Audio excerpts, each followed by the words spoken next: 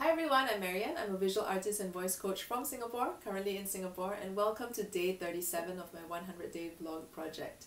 So this is a daily vlog series where I share what I've learned about making your dreams come true, pursuing your passion, following your heart, um, you know, personal growth and evolution, and a little bit about the creative process and the artist journey as well. So if you have questions about any of these, feel free to ask them in the comments below or you can directly message me through any one of my social media links which are in the write-ups attached to these videos. So yesterday I brought up this saying, this very common saying, practice makes perfect, um, and how, how I don't agree with it because, you know, first of all, perfection is something that we would never, we would probably never get to, at least not in this lifetime.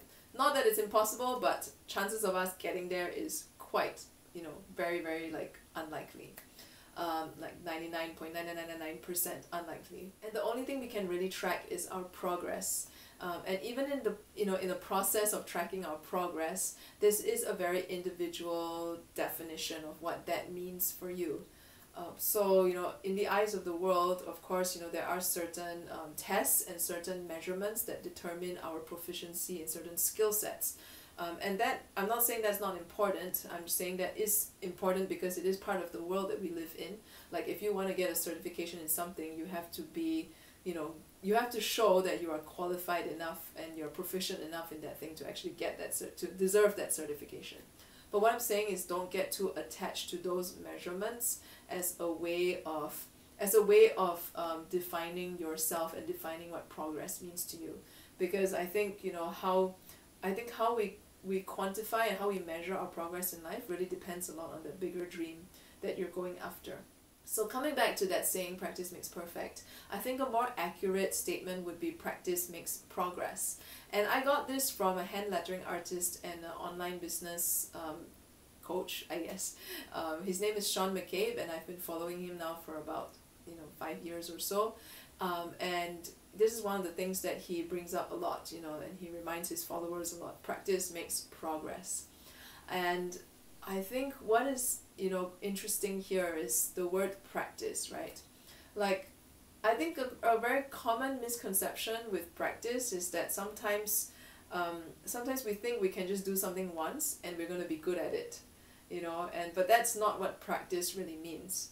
Um, the word practice itself kind of implies that this is something that you are constantly working on and you're constantly finding ways to get better at it you know and get and improve in it and um, and you're constantly evolving and growing in whatever that area is that you are practicing. Um, I remember when I was when I was a child, I really did not like taking piano lessons, but you know I was kind of, you know, kind of um, forced to, I guess, by my mom. And uh, so my sister and I, we both took piano lessons and we had the same piano teacher. So our classes were on the same day each week. And, you know, after we, like, after school, we come home in the afternoon before our class in the evening. And we would immediately rush to the piano and we would start fighting each fighting with each other over who gets to practice on the piano because the whole week that had gone by since our last lesson, we had not practiced at all. Like, we literally always practice like, you know, right before going for our piano lessons. And obviously because of that, our progress in terms of learning how to play certain songs on the piano um, took a lot more time than it would have.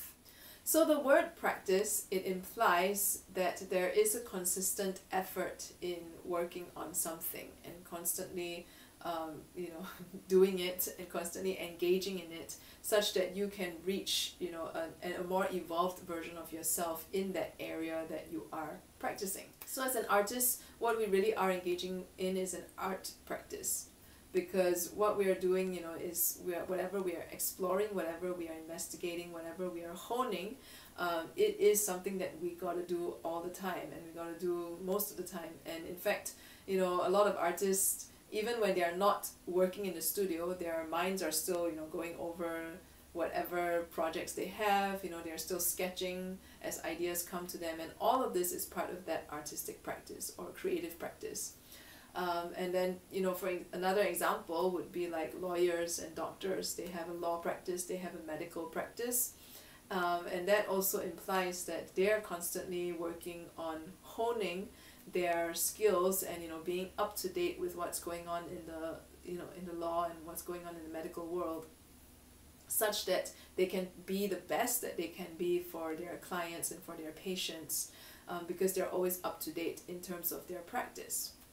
Um, and what this means also is that the moment you stop practicing that, the moment you stop consistently putting in time and effort and energy to hone yourself in that area that you've chosen to commit yourself to, um, it, what then well then entropy is going to set in like what I shared a few days ago that nothing ever stays constant. Um, the moment you think you are constant and, or stagnant you're not actually um, on the same um, the same level. You're actually kind of you know going backwards.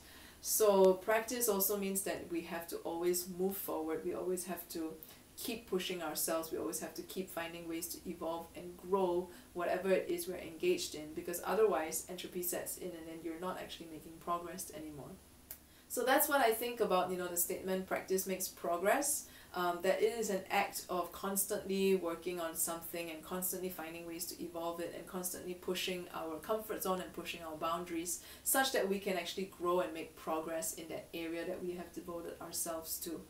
Um, so I'm going to share more about this tomorrow in the context of life and the comfort zone and what I've been sharing about the last few days. So look out for that. And in the meantime, if you have questions, feel free to ask them in the comments or directly message me. And subscribe to my YouTube channel or like my Facebook page wherever you're seeing this video on. And I'll see you tomorrow.